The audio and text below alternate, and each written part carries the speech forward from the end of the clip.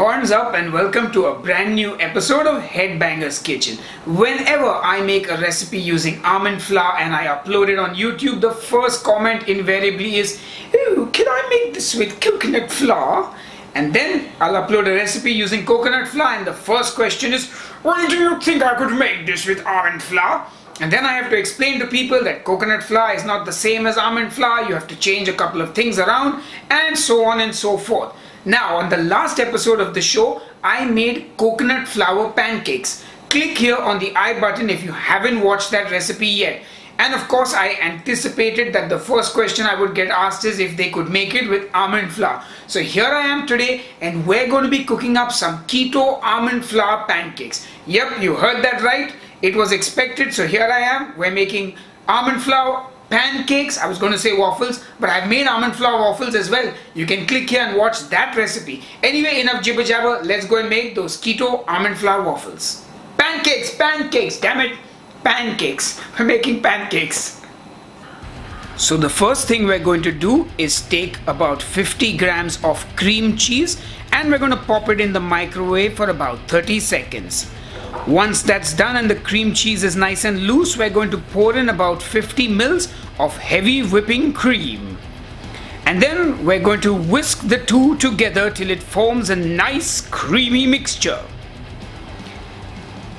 Then into this creamy mixture, I'm going to add a teaspoon of vanilla extract, followed by two whole eggs. And then give it all a good whisk. And as always, I'm going to stop because I forgot to add the stevia. So I'm adding two or three drops of liquid stevia and then whisk it all together.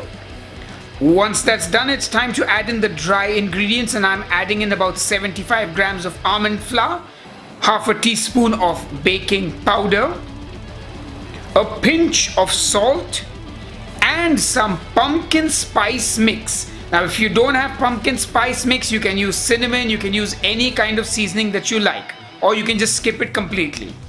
And then I'm going to give it all a good whisk.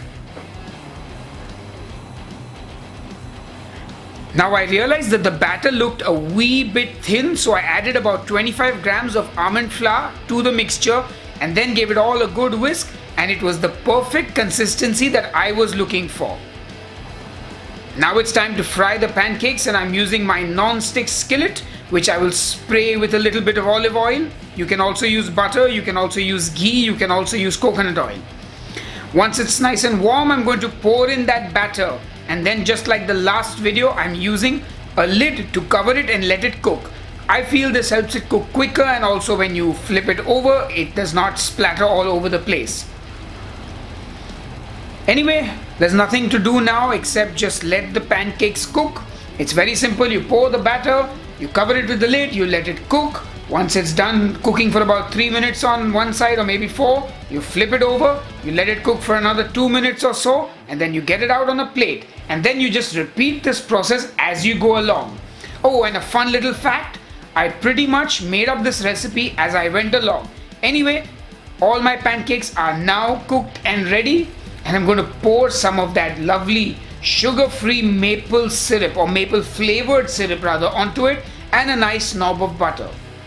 And there you have it my friends. Our keto pancakes made with almond flour are ready. Anyway, enough jibber jabber, it's time to taste. And just for whatever fun, I'm going to cut it all together and stick it on a fork and give you a nice close up of it. Anyway, time to taste. Alright folks, so here we are and it's time to taste the almond flour pancakes and look who's back. It's my dad, Mickey Makhija. So dad, this is almond flour pancakes with sugar-free maple syrup and some butter on it and there's a little sweetness in the pancake from some stevia and there's a pumpkin spice mix in it. So yeah, dig in. Sounds complicated. Let's hope it tastes good.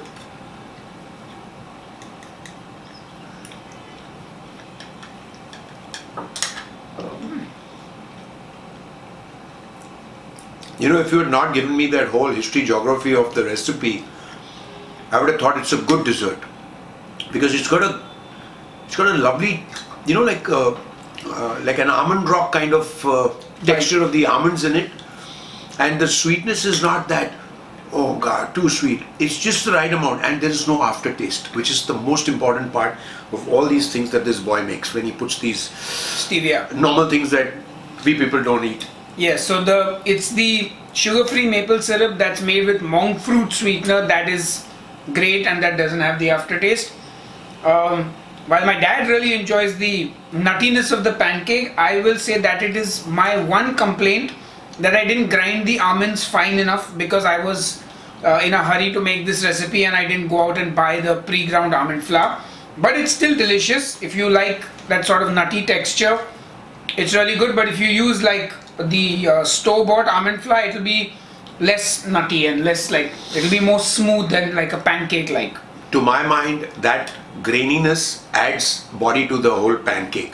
It's not that smooth uh, batter kind of thing. So I like it. I mean, it's a personal choice. Alright, so my dad's given the verdict. He likes the pancakes. I give you some tips and tricks on the website. If you're looking for the macros and the written recipe, go to headbangerskitchen.com and I will see you on the next episode of Headbangers Kitchen. Cheers and keep cooking. Hey folks, before you go, make sure you hit the like button on this video, subscribe to Headbangers Kitchen and turn on notifications so you don't miss a single video. If you like what we do, you can also buy a Headbangers Kitchen t-shirt, links in the video description box below. And before you leave, I have a quick question. Waffles versus pancakes, which one do you prefer and why? Let me know in the comments below.